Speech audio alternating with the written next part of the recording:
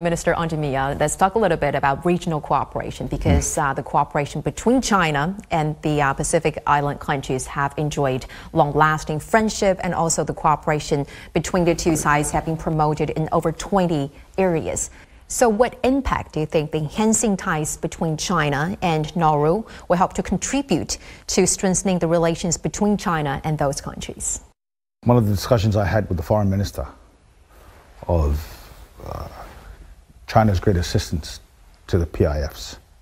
I think it'll be strengthened much, much more with Nauru now being part of that, of the One China Principle group. I think the other countries who have not yet recognized the One China Principle should also, the other Pacific countries, should also change allegiances and recognize the One China policy because it'll be for their advantage and then you will have a whole PIFs united under the One China Principle.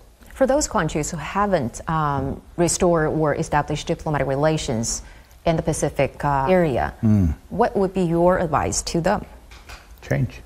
Change for what? Change. Change for the better. Mm-hmm. Change for the good. Change for your development. Change for your economic future. Change for the initiatives that China has instituted and initialized in other countries around the world.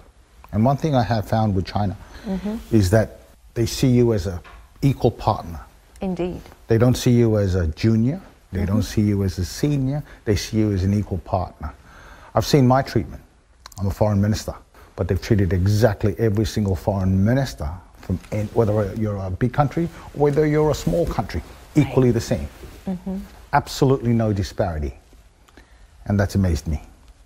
But I guess that comes from a history of diplomacy that the Chinese people have got.